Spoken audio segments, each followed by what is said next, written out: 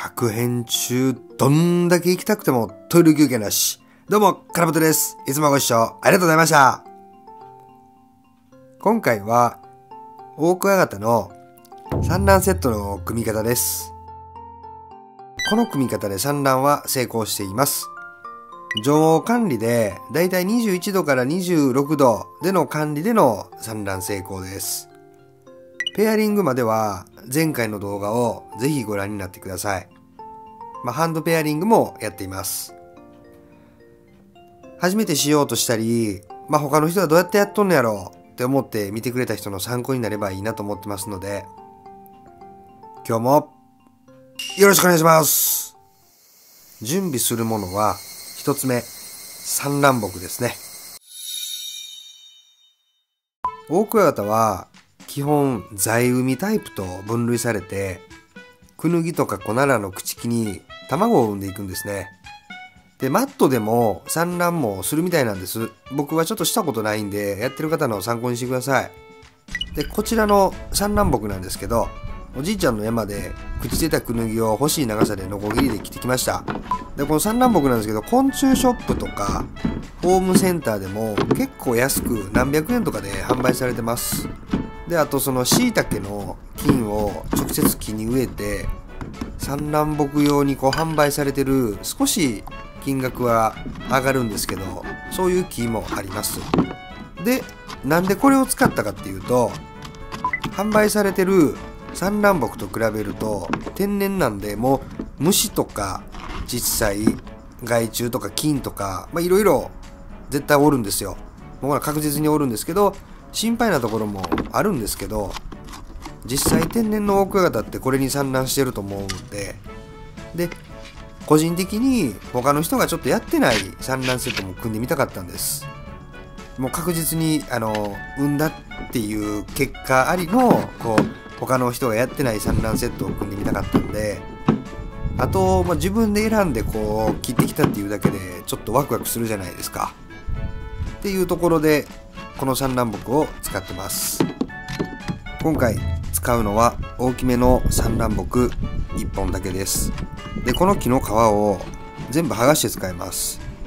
これはどちらでもいいみたいなんですけど僕は剥がしました。で次に水分量ですね。この木が丸々浸かるぐらいバケツに満タン水入れてで、この木つけると浮いてくるんで、上から重しで半日ずっと押さえてつけていました。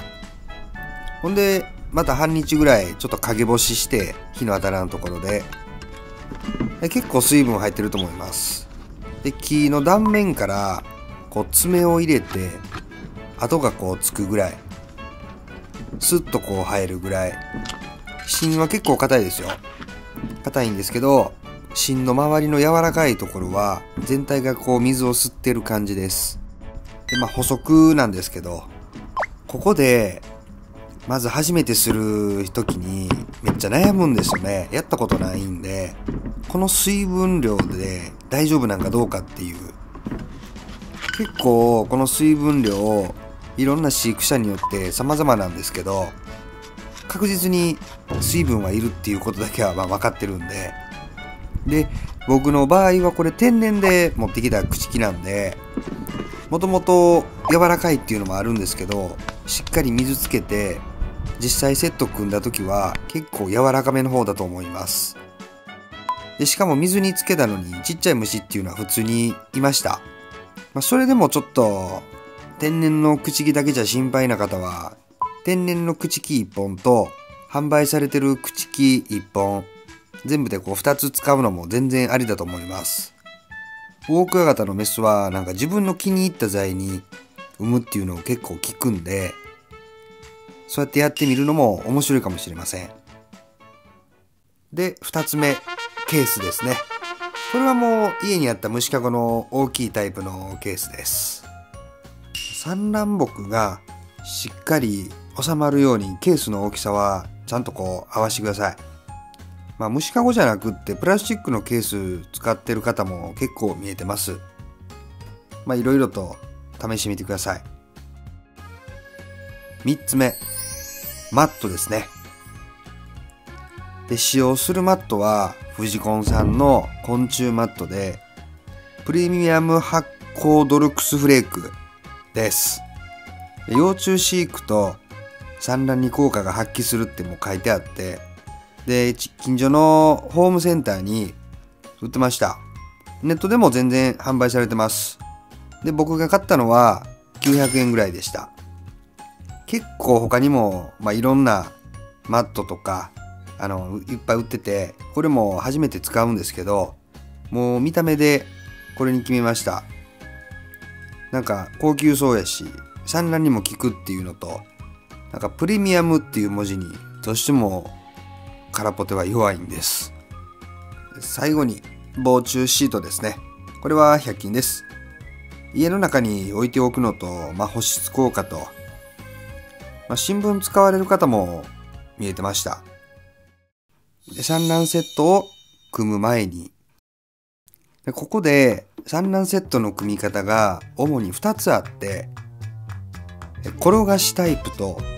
埋め込みタイプ。で転がしタイプはマットの上に産卵木を置くだけで、まあ、僕はちょっとしたことないんで別の方を参考にしてみてください。で埋め込みタイプは産卵木をほとんどマットで埋めるセットでちょっとだけ木が外に出てるような感じです。で今回挑戦するのは埋め込みタイプです。まあ、あの1ヶ月産卵セット置いておくつもりだったんでもし仮に産卵して幼虫が木からこうこぼれたりとかしてしまうことがあっても、まあ、マットがしっかりあれば安心かなっていうのとなんか比べるとこっちの方が卵を産みそうな気がしたからです。それではですねケースにマットを詰めていきましょう。まずしっかりケースをきれいにして産卵木を入れる前に一番底にマットを詰めていきます。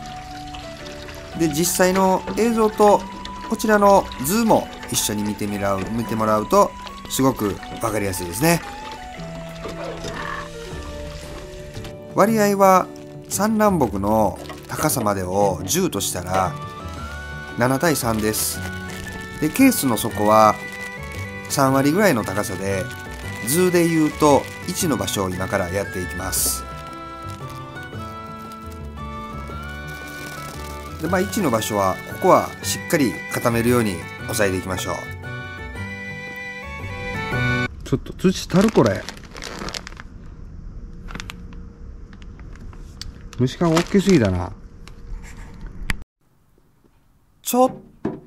とケースの大きさが多すぎたようですね。まあ、こういうことあるんで、皆さんも気をつけてくださいね。ぴったりのケースに書いたところでマットを詰めていきます。でマットの水分量も、まあ、気にしながら乾燥してるようならたまに霧吹きもして、まあ、ちょっとこう握った時に軽く団子ができるぐらいにしてます。でここで気をつけてほしいのが仕事のストレスとかパチンコで負けて腹立ってあんまり抑えすぎるとケースの底が割れてしまうことがあるんでここは注意してくださいね。なんかパキパキいっとるけど大丈夫やろか。あ割れてしまいました。いやこれはちょっとまずいな。最悪や。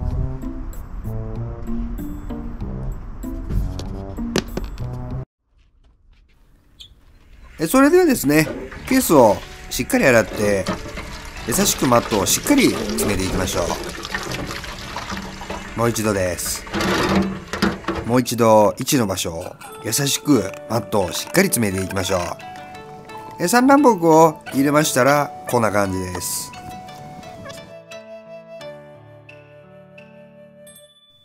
だいたい7対3になるような感じになりますかね。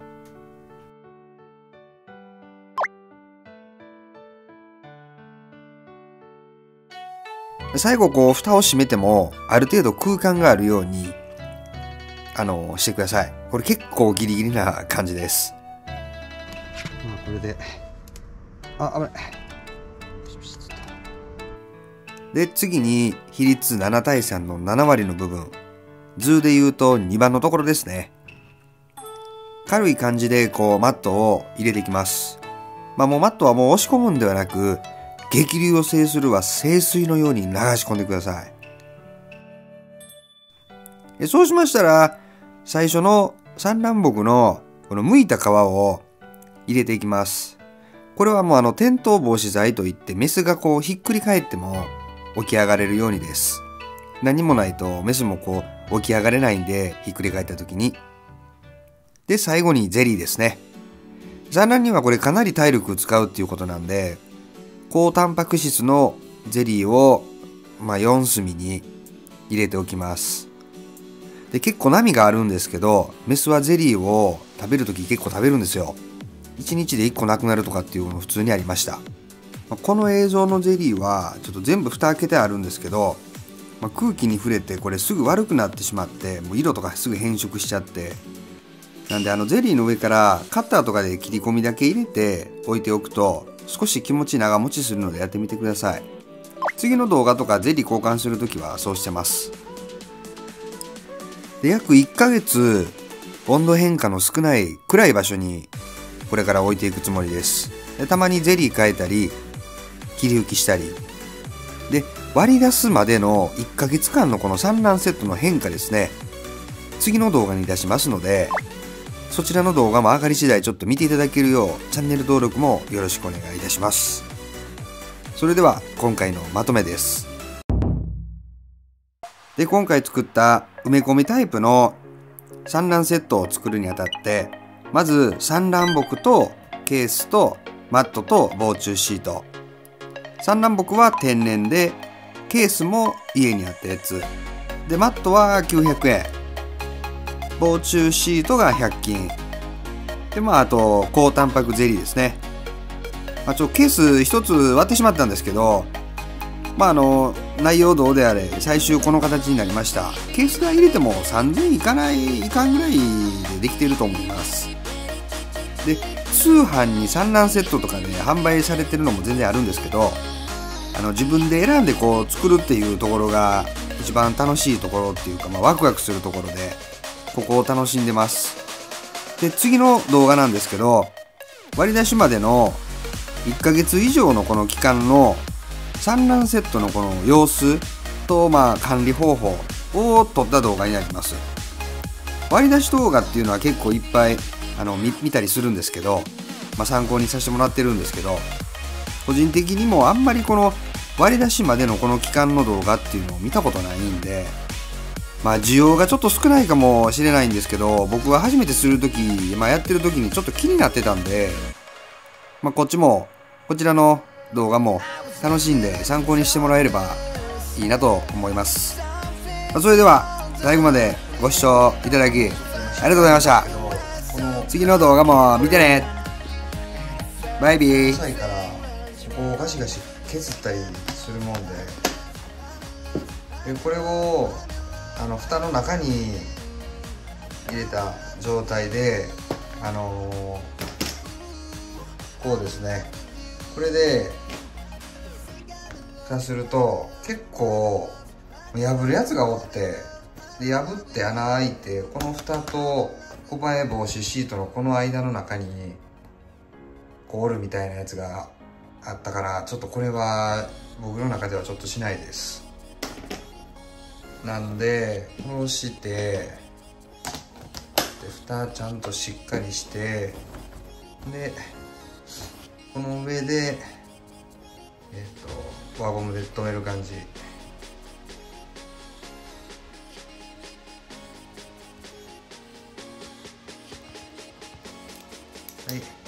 8月の19日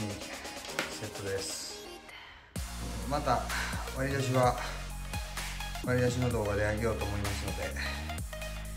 この辺で終わります。ご視聴ありがとうございました。